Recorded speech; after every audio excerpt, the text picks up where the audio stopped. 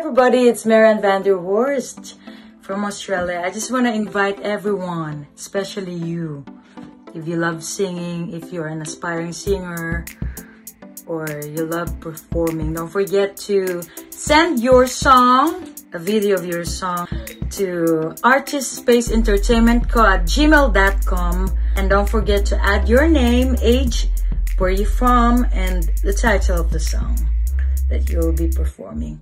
And of course, don't forget to introduce yourself so that the company will recognize if you want to be promoted. The company will help the artists to be seen and their talents to be seen, to be heard. So don't forget to check it out, guys. And uh, once again, Artist Space Family. If you want to be managed by them, contact them.